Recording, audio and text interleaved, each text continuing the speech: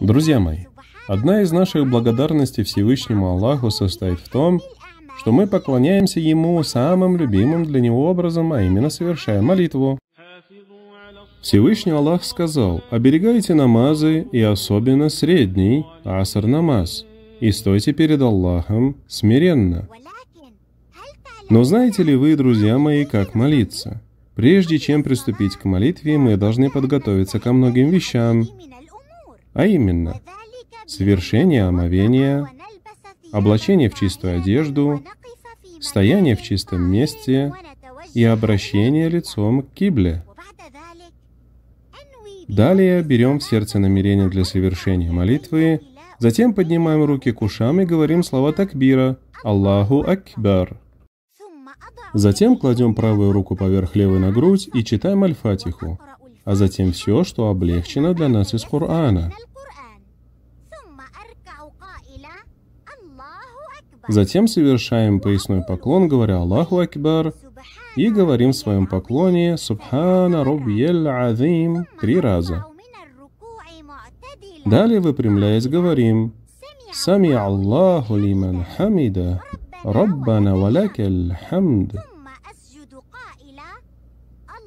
Затем совершаем земной поклон, говоря Аллаху Акбар, и говорим в нем Субхана Раббияль А'ля три раза в земном поклоне. Затем садимся прямо и произносим Робби гфирли, вархамни, ваафини, варзукни. Затем совершаем земной поклон во второй раз с такбиром, и в земном поклоне снова говорим Субхана Раббияль А'ля три раза. Затем встаем на второй ракаат и делаем то же самое, что и в первом ракаате. Но после земного поклона садимся и произносим ташахуд, пока не закончим его.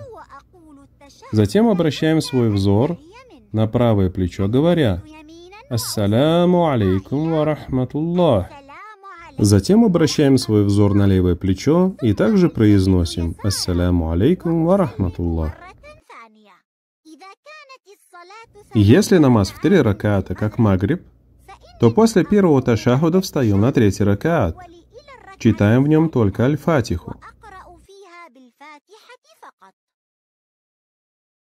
Затем совершаем поясной поклон, после чего совершаем земной поклон и садимся для последнего ташахуда.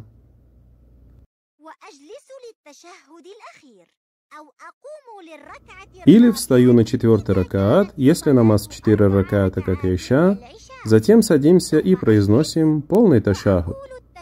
Затем обращаем свой взор на правое плечо, говоря «Ассаляму алейкум ва рахматуллах». Затем обращаем свой взор на левое плечо и также произносим «Ассаляму алейкум ва рахматуллах».